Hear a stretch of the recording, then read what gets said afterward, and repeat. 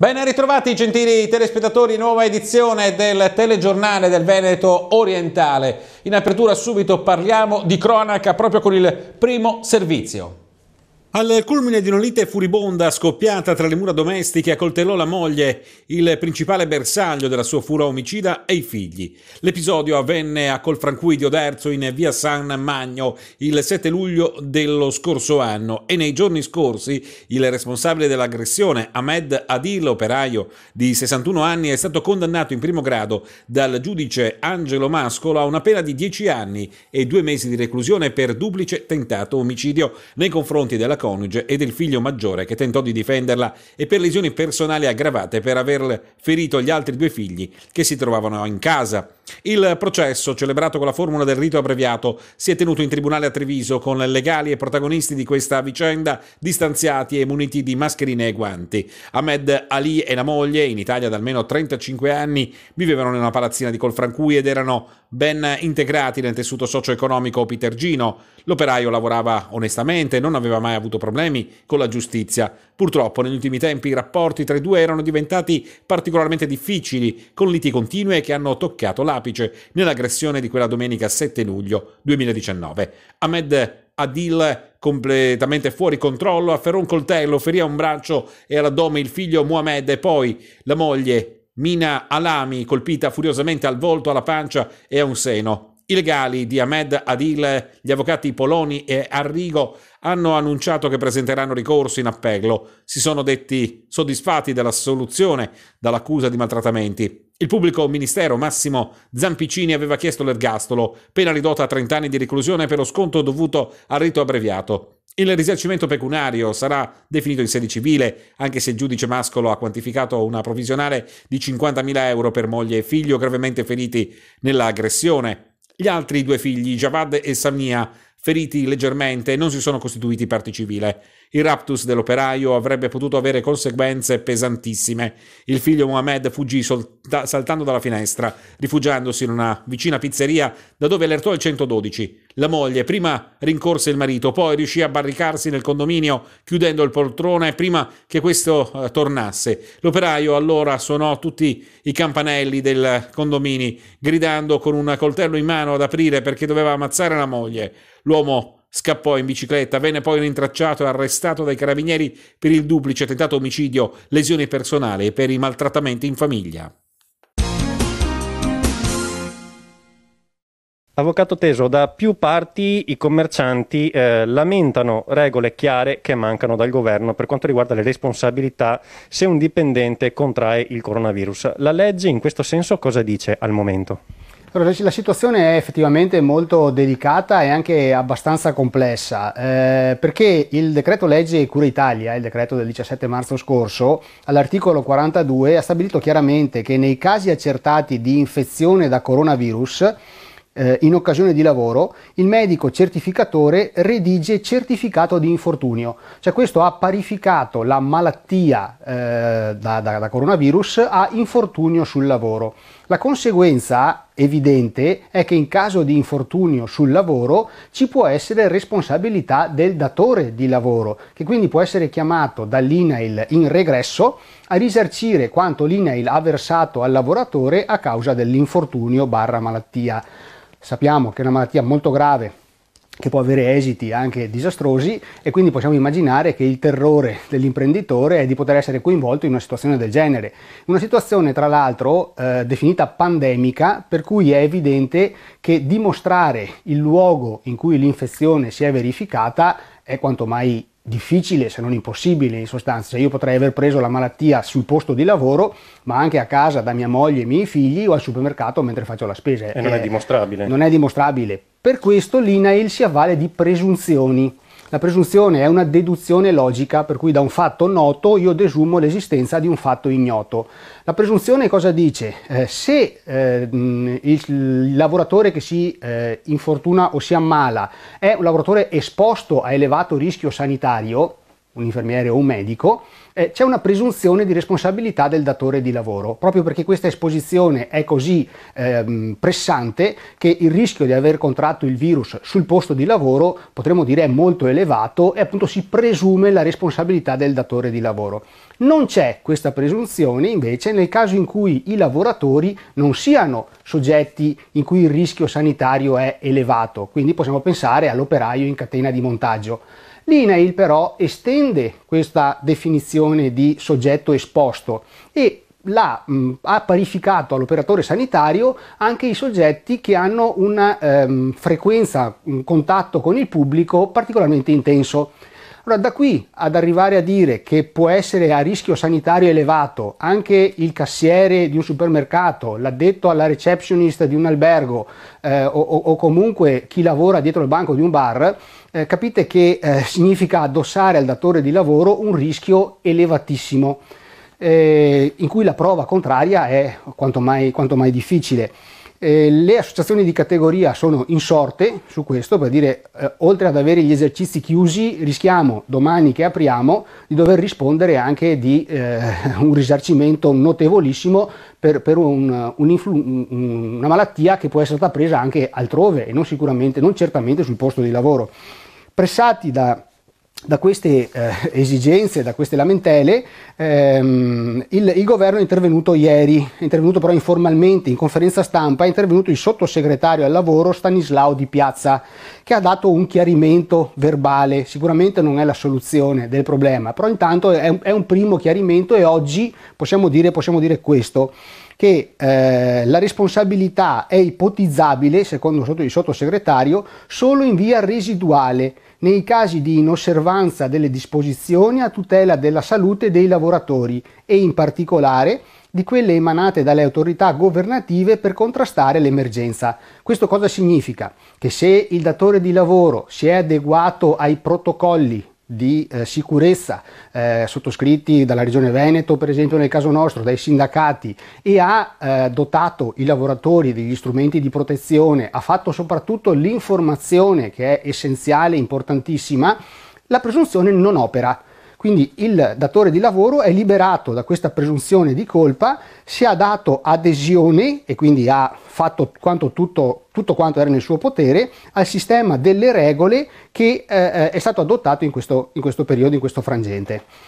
Quindi la soluzione al momento per stare più tranquilli eh, per i datori di lavoro dovrebbe essere adottare scrupolosamente quelle che saranno le disposizioni in termini di sicurezza sulle aree di lavoro. Sì, a- assolutamente. Cioè, questo è quello che possiamo dire oggi perché il, ministro, il sottosegretario è chiaro, dice che il rispetto puntuale del set di regole messo a punto è in grado di evitare che all'imprenditore possano essere eh, effettuate contestazioni anche di natura penale. Chiaramente questa non può essere la soluzione, perché non è una legge, è una risposta data da un sottosegretario a, a, a, un question time. Però questo è il primo indirizzo. Ovviamente quello che tutti gli operatori auspicano è che ci sia una norma che chiarisca, che chiarisca questa situazione. Vero che siamo in una situazione eccezionale, ma come ha detto l'altro giorno la Presidente della Corte Costituzionale Marca Cartabia, eh, non esiste un diritto eccezionale per situazioni eccezionali. Il diritto è diritto e le norme devono essere chiare e comprensibili. Quindi noi attendiamo un chiarimento normativo sul punto.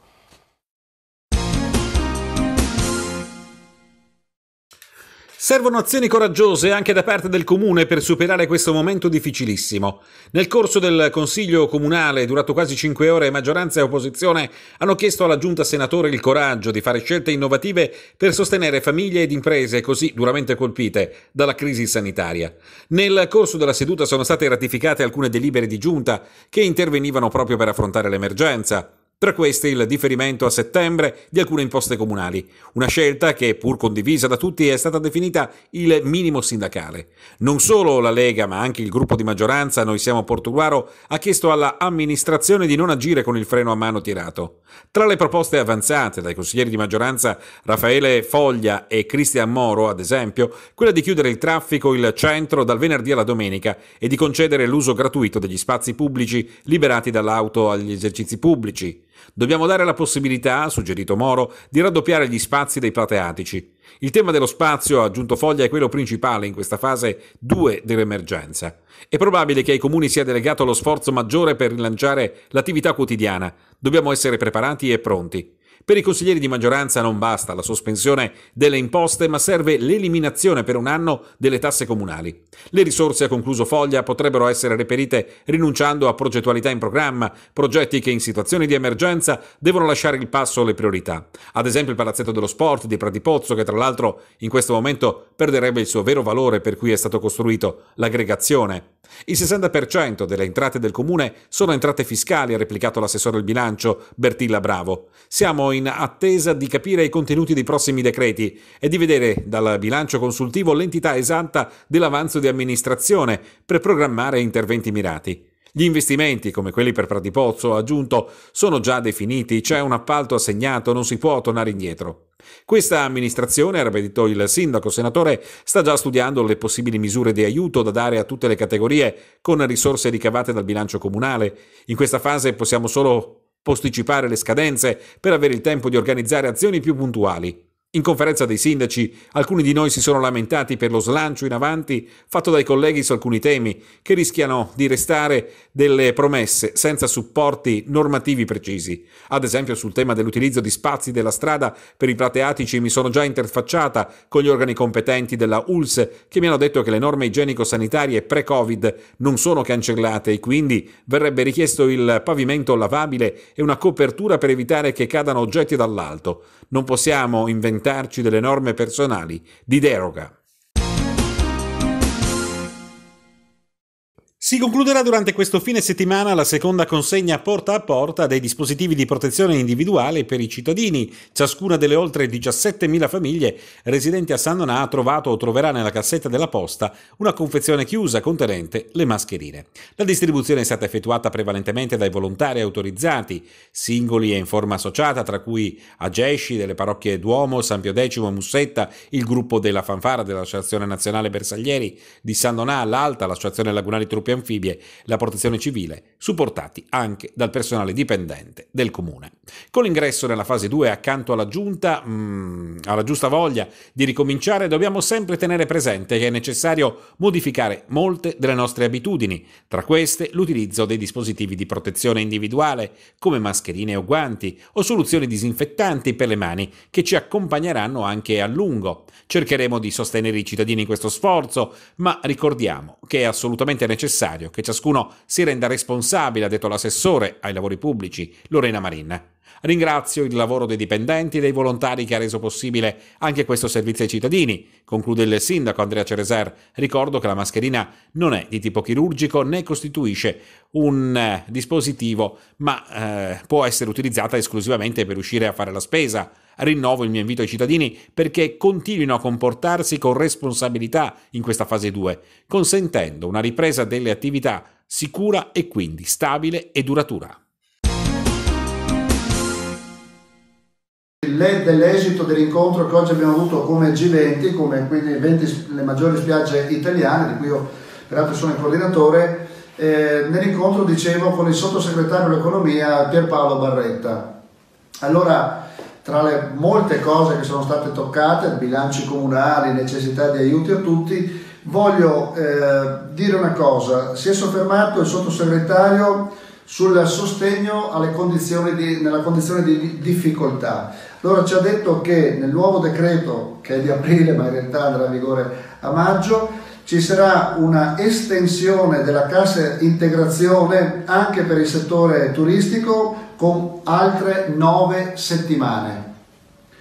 Il prolungamento della NASPI ma soprattutto ciò che a noi anche interessava eh, molto era tutte quelle categorie di lavoratori che non sono contrattualizzati con il eh, turismo o con la stazione termale di quei decreti precedenti venissero ricompresi come aiuti di Stato e questo reddito di emergenza dovrebbe chiudere tutto il, eh, diciamo, il pacchetto inerente ai lavoratori stagionali senza lasciare fuori nessuno. Noi abbiamo spinto tantissimo su questa cosa Speriamo di, arri- di essere arrivati proprio a, alla, a, risolvere questa situazione che è molto importante, che lascia fuori veramente tanti. Basta pensare che uno che lavora una persona che lavora in un eh, so, esercizio commerciale, un supermercato, che non ha un contratto del turismo e la cui azienda non ha un codice ateco relativo a questo, non, non gode degli aiuti di Stato. Questo è veramente discriminante, bisogna porre rimedio a questo. Il sottosegretario poi personalmente ha detto che lui spingerà per, questo qua ha usato il termine personale, spingerà per togliere i canoni di concessione demaniale per il 2020 e noi abbiamo aggiunto anche per il 2021 perché veramente i concessionari oggi sono senza liquidità e lo saranno anche nel 2021 visto che si prevede insomma un, un, purtroppo una non forte eh, dire, presenza di turisti sui territori. Un'altra cosa che ritengo importante è che eh, sicuramente certo ormai il bonus vacanze, cioè eh, per, lui ha usato il termine milioni, ma insomma per molte famiglie italiane ci sarà una detraibilità sotto il profilo fiscale della spesa, della spesa per eh, fare le proprie vacanze.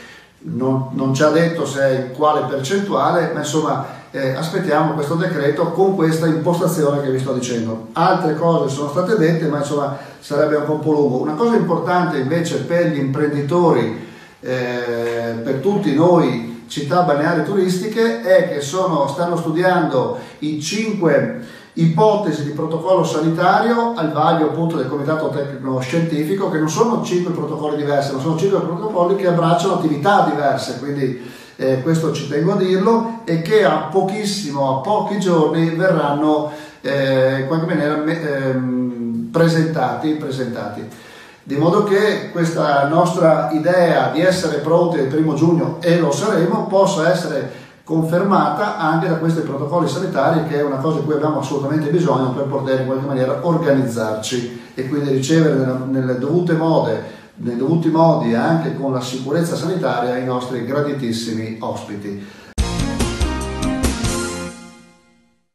Facciamo un punto sul servizio di assistenza scolastica. Questo servizio, erogato tramite l'azienda US2 e pagato con i bilanci del sociale dei comuni dell'azienda US2, era stato sospeso a causa del Covid-19. Ricordiamo che di questo servizio ne fruivano circa 850 ragazzi di tutta la nostra azienda sanitaria. Ora, grazie alla DGR 445 del 2000 della Regione Veneto, e ringrazio il direttore dei servizi sociali, dottor Del Re, il direttore generale e i responsabili responsabili dei vari servizi dell'età evolutiva, è possibile per le famiglie usufruire di questo servizio in una modalità a domicilio. Pertanto la famiglia deve collegarsi al sito dell'azienda ULS 2 marca Trevigiana, all'interno troverà mo- la modalità assistenza scolastica e verrà predisposto un modulo da compilare in cui verrà scritto se il ragazzo frequentava il servizio età, età evolutiva oppure la nostra famiglia oppure il centro Samarotto che è il, il centro relativo all'autismo. Ogni famiglia dovrà individuare le modalità di assistenza domiciliare, individuando la giornata,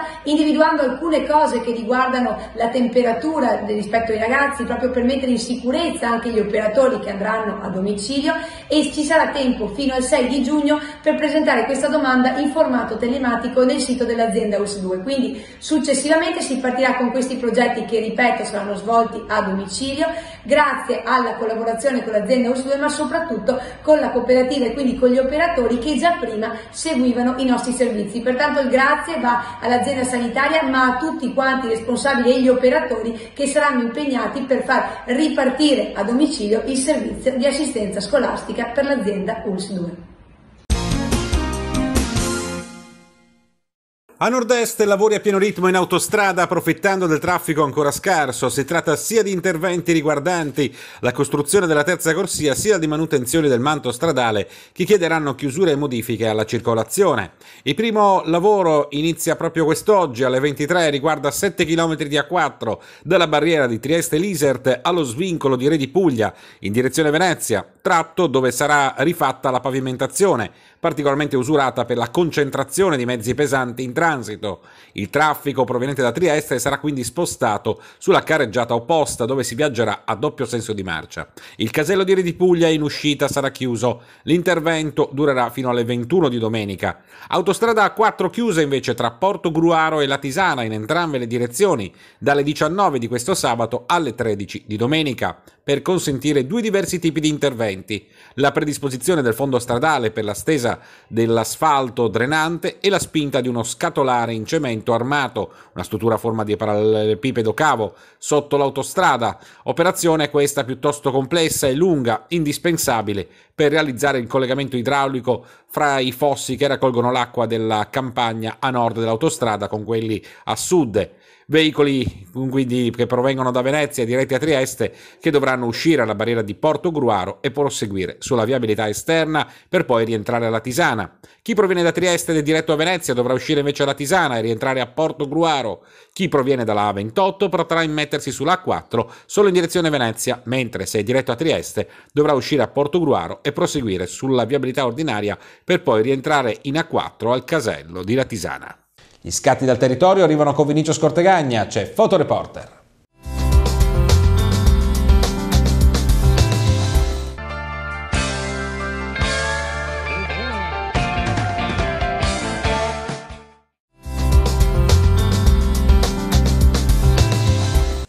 Grazie a Vinicio Scortegagna e a voi tutti per aver scelto il telegiornale del Veneto Orientale. Ci fermiamo qui con questa edizione. Vi ricordo che potete seguirci anche sulla pagina Facebook di Media24 con i nostri live e i nostri servizi. Vi auguro un buon proseguimento con i nostri programmi e a risentirci alla prossima.